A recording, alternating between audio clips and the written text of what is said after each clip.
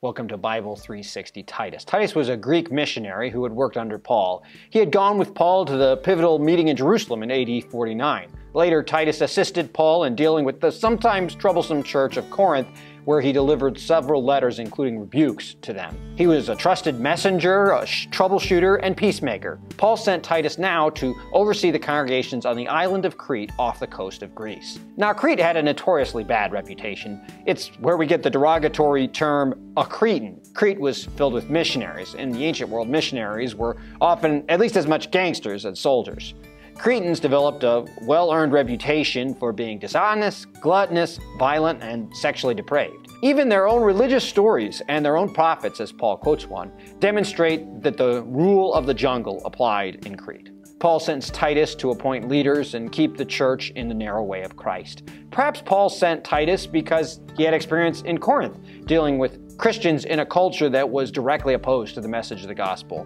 Also, like in Corinth, Crete had self serving leaders who had somehow finagled their way into leadership positions in the church. Similar to his letter to Timothy, Paul instructs his co worker in Christ not simply to talk about actions people should take, he especially highlights the reasons why they should act like decent and loyal human beings. Paul is also discussing strategy, public relations, and encourages Titus to prepare himself to carry out the mission. Titus should know the mission and the goal better than everyone else and he as a leader must be committed or the mission will never be carried out. Likewise, Paul highlights how important it is that the rest of the elders Titus is teaching should be trustworthy and committed to carrying out the mission, not just in their words, but in the way they conduct themselves. This means that just simply being a good or an effective leader does not qualify someone to lead in the church. There are standards to be upheld, otherwise, the church will crumble and break apart. Christianity is not a business or only a compartmentalized portion of a person's life. It's a new life lived in the light of all that Christ has taught and done. Paul believes that the Christian message can be communicated in the way Christians live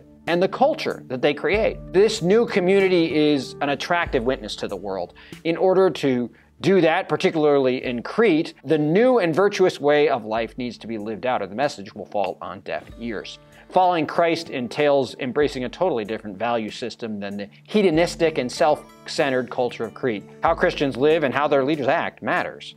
If Christians are no different than anyone else, untrustworthy or nasty to their families or others, Who's going to bother listening to them? If Christians understand this, they will see through the duplicity of self serving leaders that don't really care about the message of the gospel, but simply see an opportunity for money or power or sex. The Christians in Crete have accepted impure and greedy leaders who say the right sorts of things, claiming to be Christian, but Paul says of them, To the pure all things are pure, but to the defiled and unbelieving nothing is pure. Both their minds and consciences are defiled. They profess to know God, but deny him by their actions. They are detestable, disobedient, unfit for any good work. A corrupt leader is a corrupt leader, regardless of whether they claim to be a Christian or not. Paul doesn't need Titus to get overly fancy in his teaching. Rather, he needs to teach older men to be self controlled and centered in both love and faithfulness. Older women are to avoid intoxication and be good examples of faithfulness to their husbands and be dutiful and loving mothers. Young men should not be out of control. Rather, they should be respectful, not belligerent to others. Paul urges Titus to be an example of integrity, hard work, so that no one can honestly speak against the church or the gospel.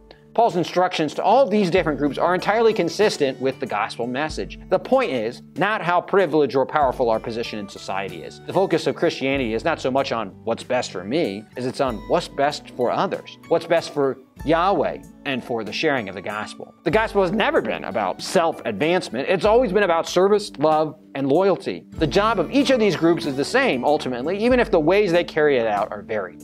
We may assign different values to different positions in society, but the gospel doesn't. The world may value the contributions of masters over servants or male over female, but God does not. In the midst of this Cretan culture that was consumed with partying, carousing, and deception and serving yourself, simply being a decent, kind, and faithful to Christ and others was of paramount importance. Paul says that we can certainly relate to pursuing sinful desires and being slaves to our passion, but something dramatically changed when God, in His goodness, not ours, rescued us from that way of living. In fact, God totally remade us, washing us in the spirit infused waters of baptism into Christ, so that we are no longer slaves to our flesh, but heirs of an eternal inheritance which outshines anything this world could offer us. Paul advises Titus to focus on these gifts and the kingdom of Christ. But getting caught up in petty squabbles about Torah regulations or super technical arguments is not really beneficial. Rather, those things that Jesus and the apostles emphasize, Titus should emphasize. Things such as God's grace, love, forgiveness,